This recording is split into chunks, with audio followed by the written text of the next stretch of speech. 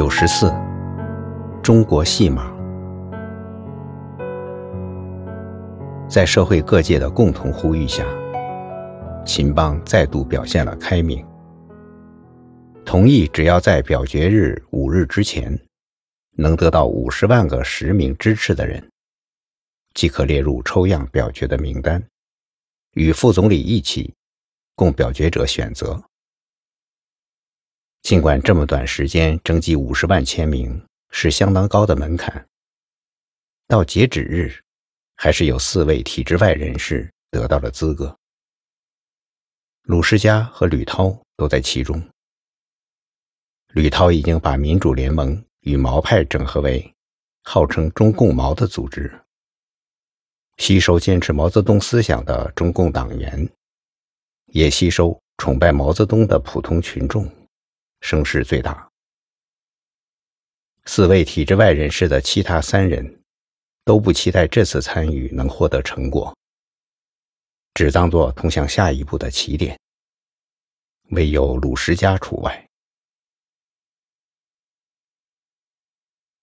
鲁石家事先就知道自己会得到成果，而且是以前根本不敢想的成果，但是并不让他真感到高兴。因为那些看上去自发的过程，其实都出自蒋强的幕后导演。鲁世家从新疆回北京的当天就被蒋强召见，才知道以前兵团给他的钱只是转手，其实都出自蒋强。蒋强这回表示，如果鲁世家按照脚本走，保证他能登上高位。鲁世家当时问了一句：“多高？”本是想还以嘲笑，却在听到蒋强说出了“总理”二字后，就连多问一句的勇气都没了。这若非出自蒋强之口，一定会被鲁世家当作梦话。鲁世家原本是想表现一下知识分子的风骨，问完多高后，起身便走。结果变成了老老实实坐在那儿听蒋强一一交代，往下该怎么做。有风骨又能怎么样呢？起身走了之后，是去山里砍柴，还是去乡下种田？没有能展翅的天空，再爱惜羽毛又有什么用？袁世凯、孙中山、列宁。哪个成功的政治人物成事前没有做过私下交易？因此，鲁世家尽管不是真心高兴，还是决定先当蒋强的棋子，待到自己站住棋盘后，再去当棋手。鲁世家发出的不信质疑，就已经是按蒋强的脚本表演了。貌似他的不信立刻得到全民响应。若没有蒋强发动的几十万水军猛推风转，怎么可能？鲁世家的国内外社交媒体账号都被蒋强的班子接管，每天按照设计好的口径模仿他发言。他得到五十万签名，没费任何力气，自己什么都不需要做，每天只是上课。专门包装政客的美国公司。训练他在公众场合如何表演，从表情到手势、演讲的方式、站坐的姿势，给他重塑发型、进行美容、设计服装，比吕涛最初给他的塑造形象高了不止一个档次。仅定做的鞋，让他无人察觉的增高了五公分，女性粉丝就增加了百分之六点三。据说这家公司包装的政客，胜出率高达百分之九十。价钱虽贵，却无需鲁世家考虑。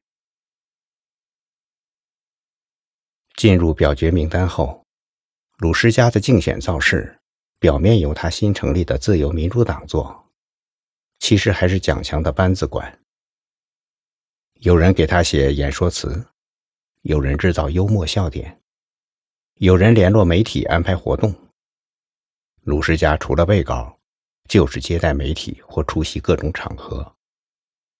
所有的口径都事先定好，什么时候说什么故事，做什么表情，甚至垂下眼睛或沉默多久都有设计。话题局限于民主法治、公正廉洁、保护私有财产等老生常谈，几乎全盘是西方主流理念。鲁世家原来定位的民族主义不见了踪影，换成了和平友好。世界大家庭等泛泛之论，按鲁世家的看法，那都是些票房毒药。调查却显示，他的民意指数一直稳步上升。唯一允许他自由发挥的是抨击曾一制，那是他的强项，也是他一贯不遗余力所做。这一段，他集中攻击曾一制，没有人民普选，没有三权分立。西方民众别的不用多听，仅这两点就足以对曾一制侧目而视了。信任表决针对总理，矛头对准的自然是总理陆浩然。就算在高层内部，这是一盘棋的安排，陆浩然也不会让外界认为自己束手待毙。他在主流媒体上表白自己的政绩。呼吁人们在表决中给他信任票。体制外进入表决名单的人中，吕涛采用毛派所长的动员群众、集会游行、张贴标语等，在中小城市搞得有声有色。在国际观察者眼中，秦邦同意抽样表决已经具备了民主化浪潮的特征。但无论是鲁世家代表的自由派，还是吕涛代表的毛派，要超越中共都有相当的距离。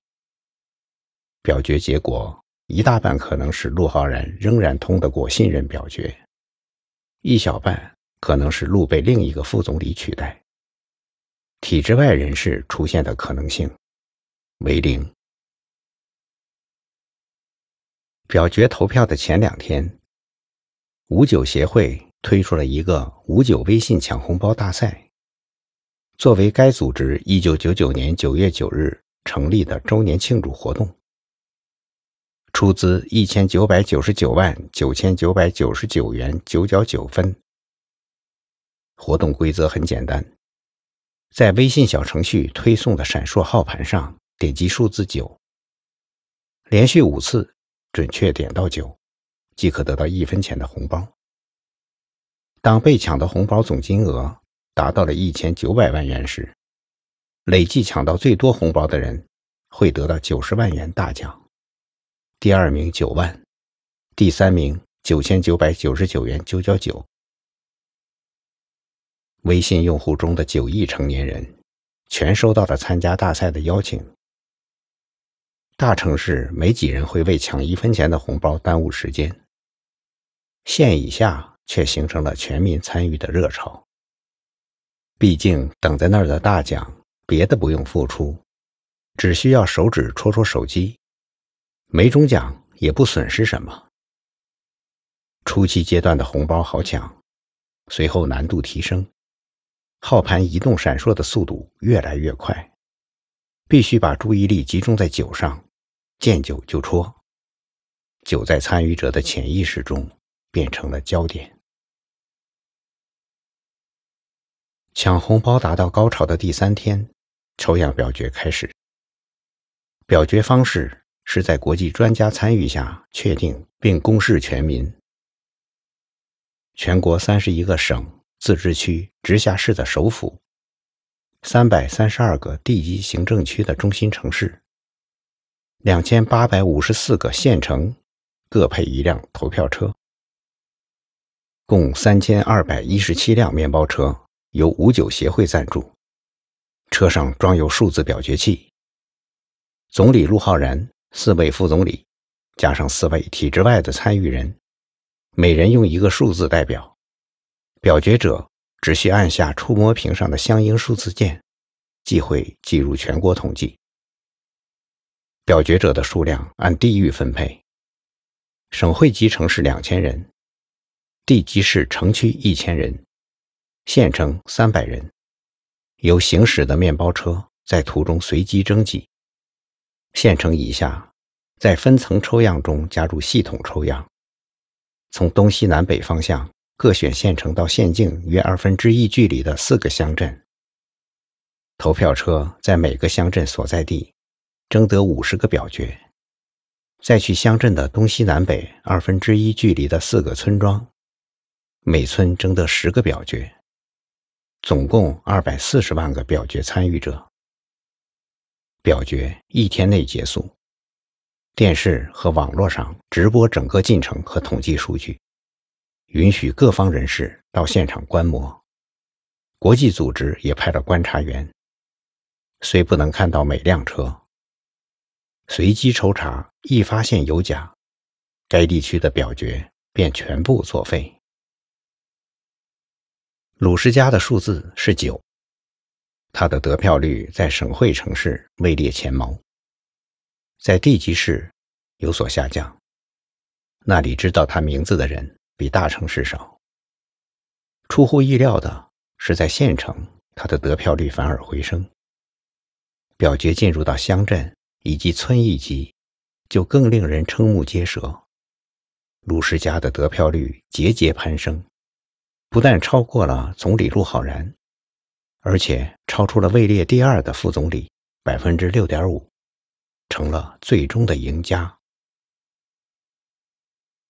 此时，整个中国反倒陷入了沉默，没人明白怎么回事，也没人能想象后面来的将是什么。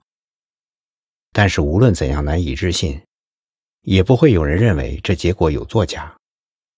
若有作假，只可能用于确保中共的人得票。一个体制外的反对派怎么可能去作假？这便是蒋强最得意的一步，甚至让他有了当上帝的感觉。在他设计的局里，既然宪政权来不及抢在层一制前转型为代议制，那就先变一个人，只要是西方国家认可的民主人士，让其成为政府首脑，就会被认为实现了民主化。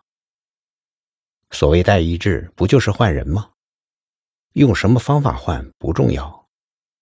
一个在专制状态下不可能上台的民主人士上了台，不是民主还能是什么呢？这就是中国特色的民主化。而那个上台者就是鲁什家。他在西方人眼中一直是作为中国自由民主的代表人物，一向坚称中国必须走西方道路。向西方学习，鲁世家在捍卫私有财产上的坚定和家族联盟是一致的，也被西方主流欣赏。他是王峰的对头和受害人，坚决否定层议制，但是又没有自己的实力，因此是可以控制的人选。剩下的问题就是怎么把他变成政府总理，那必须合理。要被外界解读成是企图显示开明的秦邦判断失误后所导致的意外结果，就像戈尔巴乔夫的新思维导致了苏东剧变那样。当然，只是看上去意外，其实没有意外。推出鲁世家的每一步都有设计，有幕后操作，而在所有的步骤中，最难的是如何保证鲁世家的得票最高。在真正的一人一票表决中，最多的票是在底层。能在宏观议题上动员中国底层民众的，只剩毛主义和民族主义。民族主义原是鲁氏家举的旗。然而，代议制转型，首要的是得到国际承认，不能与西方对立。新疆、西藏、台湾、香港，也因为得到西方关注，不碰为好。这便让鲁石家失去了热度，只能干唱高调。即使给他做再多的包装，言辞再华丽，也只能从城市的中产小资那里得分，入不了县以下底层民众的眼。而按定下的随机抽样表决，二百四十万参与者，只有四十万是地级市以上的城市居民，二百万都在下面市镇及乡村。不管怎么推，调查显示鲁氏家的得票率也比领先的中共人士至少低十个点。擅长投票心理学的美国公司找到了解决难题的方法。五九抢红包大赛就是由其设计的，关键在于微信小程序上显示的号盘与数字表决器的号盘几乎一样。那两天沉溺于抢红包的总共有三亿人，绝大部分在乡镇农村，酒成了他们的数字焦点，甚至成为条件反射，一看见酒就会伸手去戳。表面上谁也不能说这跟表决有什么关系，但是美国公司根据以往的数据预测，酒的得票率会因此上升百分之十五。也就是只要把鲁世家的序号定为九，它无论是什么都不重要，人们反正会选数字九。蒋强知道心理操纵对于投票的影响，却没想到连如此迂回的方式都能精准的预测。数字九脱颖而出，鲁世家的得票率增加了百分之十六。中国在短暂沉默后进入了举国沸腾。中共有一阵似乎是乱了阵脚，内部舆论攻击秦邦弄巧成拙，要求不能把总理职位让给一个异议人士。然而民间却掀起了要求兑现承诺的运动。尽管吕涛等人对桃子突如其来掉进了鲁石家的怀中不是滋味。却知道鲁石家这次能上去，就打开了后面的大门，自己的未来也就有了可能。各国政府等着中共表态，一些分析者悲观的预言，中共会像一九九零年的缅甸军政府一样，不承认选举的结果。在沉默了四十八小时后，秦邦以其兼任的国家主席名义发布通告。承认抽样公决的结果，罢免陆浩然的总理职务，提名鲁世家为总理。在明年三月举行的人大全体会议进行正式表决前，鲁世家以代总理的身份参与国事活动和国务院工作。